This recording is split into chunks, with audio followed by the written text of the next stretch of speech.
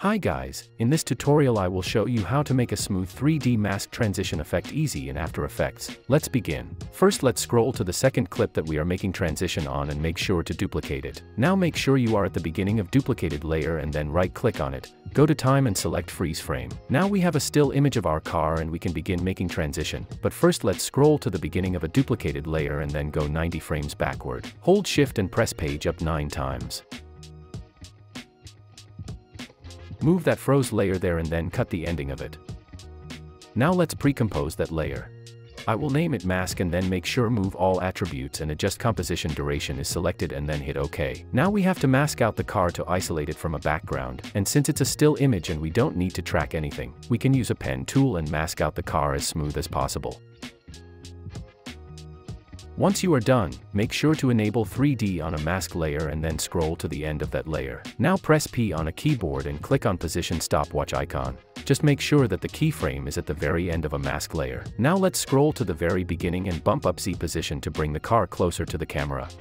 Now I will move it all the way right like that and then make sure to select both keyframes and press F9 on a keyboard to easy ease them. Then go to Graph Editor, right click here and select Edit Speed Graph and make a smooth curve. Let's check it. Looks so weird, transition is linear and now let me show you how to smoothen it out and make it look better. Scroll forward something like that so you can see the masked car and then highlight both position keyframes. Now right click on one of them and select keyframe interpolation. Make sure to change spatial interpolation to continuous Bezier and then hit OK. It will give us those two handles of a keyframes and we will be able to smoothen the path of the position. Let's drag it down something like that. Also drag the second one, and that one I will drag a bit further. As you see the path is no longer linear and it's curved and smoothed out, let's quickly check the transition. I still don't like it maybe I will adjust it a little bit, make sure to take your time and adjust the curve until you will be happy with the transition.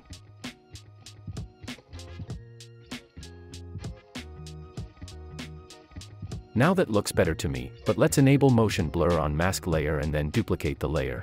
Select bottom layer and press M on a keyboard and delete the mask on it. Now scroll to the end of mask layer and press T on a keyboard. Click on opacity stopwatch icon to create a keyframe and then scroll back something like that and change opacity to 0%. Now select both opacity keyframes and hit F9 on a keyboard to easy ease them, then go to graph editor and make a smooth curve.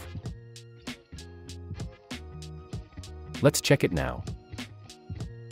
Looks cool to me, but we can make that effect better with adding a shake effect. I will skip shakes part because I have made too much shake tutorials. Also I have made 16 unique shake presets that you can get from the link in description. Check how it looks like with my shake presets. Hope this video was helpful. Thanks for watching and like the video please.